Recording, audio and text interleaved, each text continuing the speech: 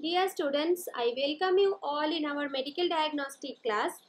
And already we have learnt about the blood counting and RBC counting, WBC counting and platelet counting. Now today we will learn about the reticulocyte count. The counting process of reticulocyte is quite different from the blood counting procedure. And this process is quite easy also. Okay. First we have to know what is reticulocyte. Actually the reticulocyte is a juvenile RBC. That means it is the immature RBC. When the RBC is produced from the bone marrow and it is going to be matured, then one stage the is coming in the maturation of the RBC process. That stage is called as the reticulocyte. So it is the juvenile RBC and it will contain small amount of RNA and ribosome. And it can be detected by incubating with supravital stain. What is the meaning of supravital stain? The stain which will be helpful to give the color to the living cells. And when the supravital stain can give the color to the reticulocyte, when you will incubate the reticulocyte along with the stain. So, the supravital stain here, it will contain 1% brilliant cresyl blue solution or 1% new methylene blue solution. It is better to use the brilliant cresyl blue solution.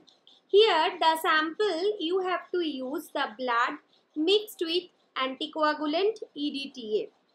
Now the reagent I have already told you it is better to use the brilliant cresyl blue solution 1 gram per in 100 ml of normal saline.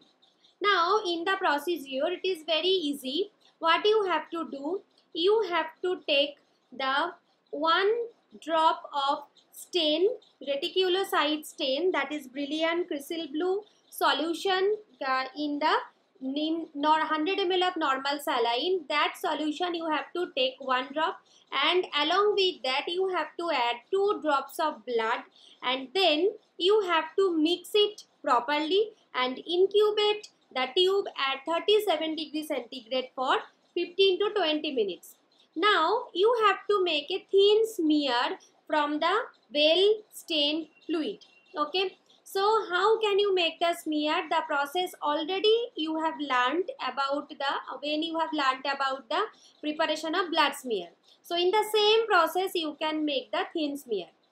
Now your slide should be air dried and then you have to count the reticulocyte for 1000 RBCs. That means when you have to count 1000 RBCs then you can stop counting the reticulocyte under oil immersion microscope.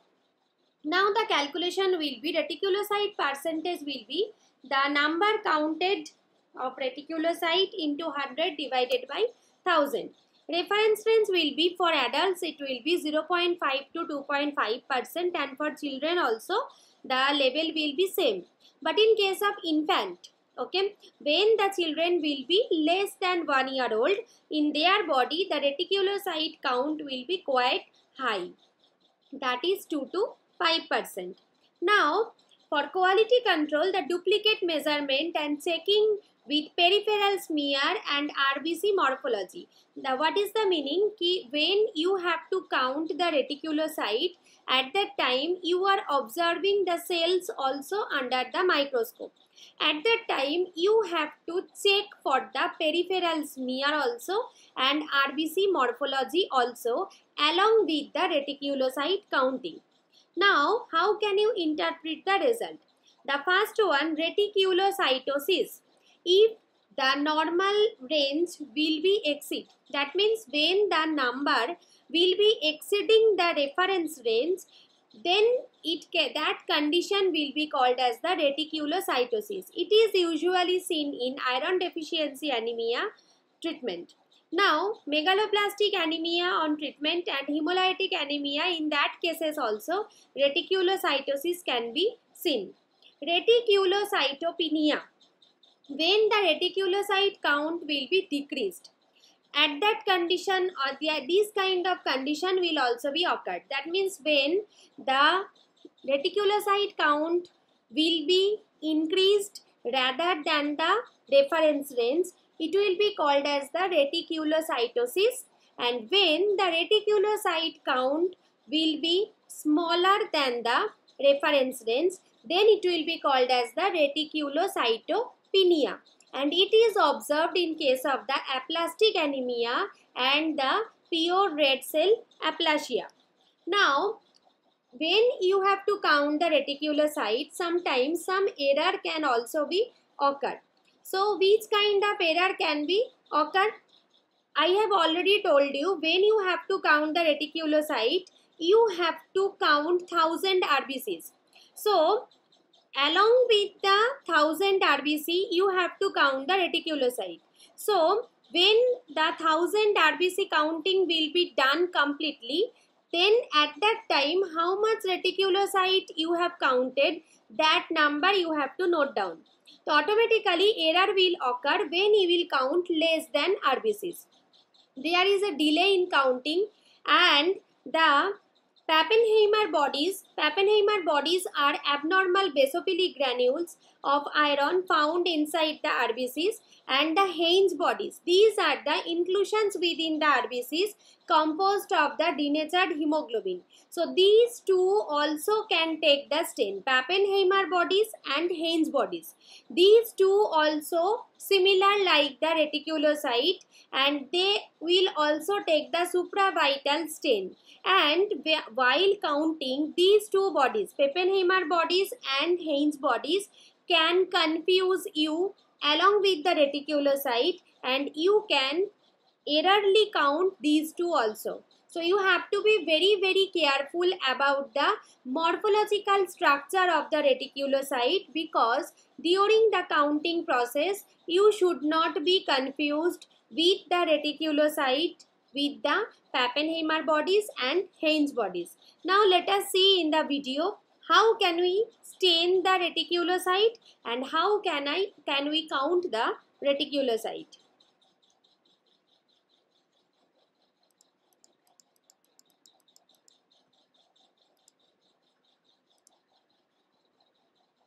Thank you.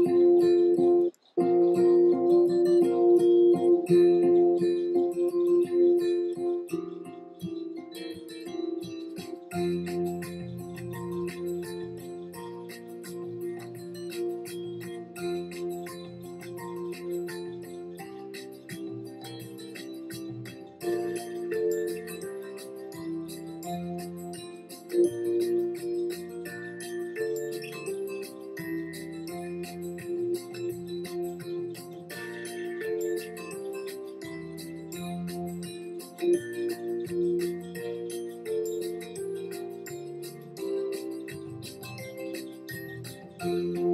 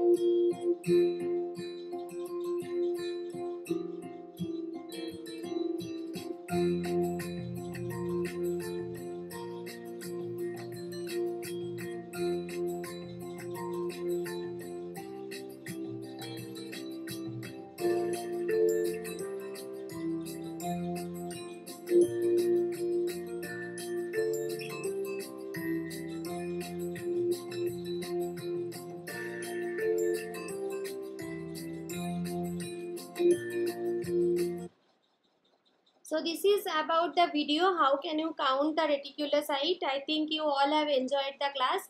Thank you very much and you just keep learning at your home and uh, best of luck.